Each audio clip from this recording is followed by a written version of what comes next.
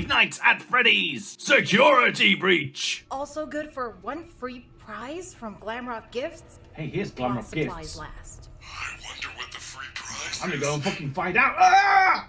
Maybe I'm not. Maybe I'm not gonna find out. Now, I don't think I need to sneak around these. As long as I don't walk in their way, I think I'm fine. Oh shit, there's a robot in here too.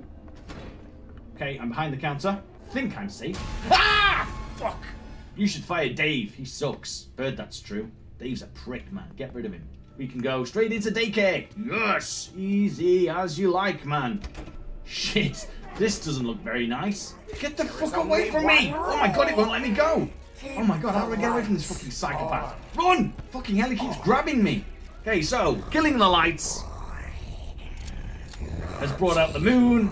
Can we have the sun back, please? Oh my fucking god. No, thanks!